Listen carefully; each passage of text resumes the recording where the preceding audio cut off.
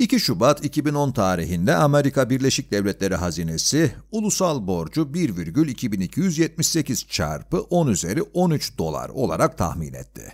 ABD Nüfus Bürosu'nun ABD nüfusu için tahmini ise yaklaşık olarak 3,086 çarpı 10 üzeri 8 kişi oldu. Bu tahminleri kullanarak kişi başına düşen ulusal borcu hesaplayınız.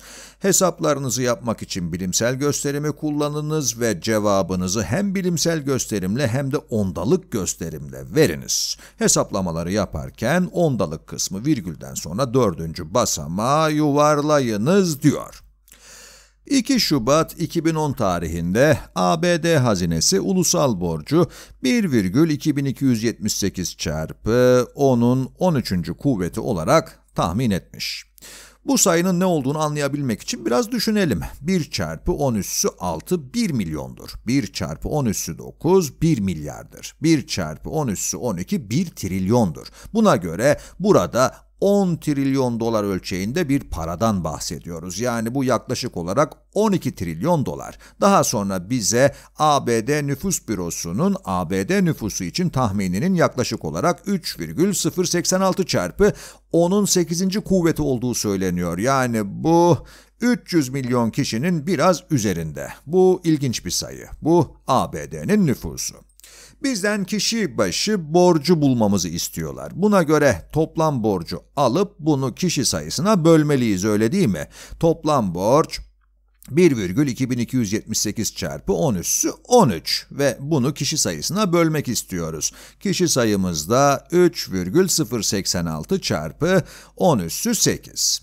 Bunu iki bölme işlemine ayırabiliriz. Bunun buradaki bölme işlemine eşit olduğunu söyleyebiliriz. 1,2278 bölü 3,086 ve daha sonra çarpı 10 üssü 13 bölü 10 üssü 8. Şimdi 10 üssü 13'ü 10 üssü 8'e bölersek ne elde ederiz? Bunu şurada yapalım.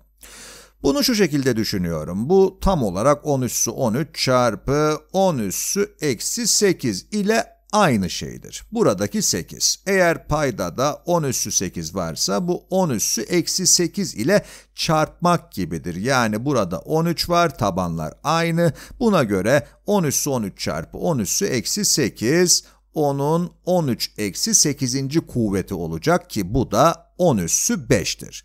Bunu düşünmenin farklı bir yolu da şu. Eğer bölme durumunda tabanlar aynı ise üstleri çıkarırsınız. Yani bu 13 eksi 8. 10'un 5. kuvveti. Buna göre bu mavi ifade çarpı 10 üssü 5. Şimdi bir hesap makinesi çıkaralım ve buradakini hesaplayalım. Burada her şeyi ondalık virgülünden sonra 4 basamağa yuvarlamamız söylenmiş. Bunu aklımızda tutalım. Hesap makinemi açıyorum. 1 virgül 2278 bölü 3,086 eşittir 0,3979 çünkü yuvarladık. Evet. Bunu kenara koyayım, böylece bakabilirim. Ee, buna göre buradaki küçük ondalık sayıları bölme işlemimin sonucu 0,3979'du ve tabii çarpı 10 üssü 5 dolar. Kişi başı, evet. Diyebilirsiniz ki bu bilimsel gösterim de onun kuvveti olan bazı sayılar var. Ancak dikkat edin, bu sayı birden büyük veya bire eşit değil. Hatırlayın, bu sayı eğer bilimsel gösterim koşullarına uymak istiyorsa bire eşit veya büyük, ondan da küçük olmalı idi. Yani burada yapabileceğimiz şey çarpmak. Eğer sayıyı değiştirmek istemiyor isek sayıyı 10 ile çarpar ve 10 ile bölebiliriz. Bunu düşünmenizin bir başka yolu da şu. Bu şeyin tamamı 0,3979 çarpı 10 çarpı 10'un dördüncü kuvveti olarak yazılabilir. Burada yaptığım şey 10'un beşinci kuvvetini 10 çarpı 10 üzeri 4 diye ayırmak. Bunu yaptım çünkü bunu 10 ile çarpmalıyım ki 0,3 yerine burada 3 elde edebilmeliyim. Şimdi bunu yapalım. Yani aslında 10 üssü 5'ten bir tane 10'u kenara aldım. Bu diğer şeyi 10 ile çarptım. Böylece sayının bütününü değiştirmemiş yapmış oldum. Bu durumda buradaki 3,979 olacak ve daha sonra çarpı 10 üssü 4. Kişi başı borcun bilimsel gösterimle ifadesi bu şekilde. Şimdi soruda bizden bunu ondalık gösterimle de yazmamız istenmiş. Ee, bu standart ondalık sistemde normal bir sayı olarak yazmamız demek. Yani 3,979 çarpı 10'un dördüncü kuvveti nedir? Bunu şu şekilde yapayım.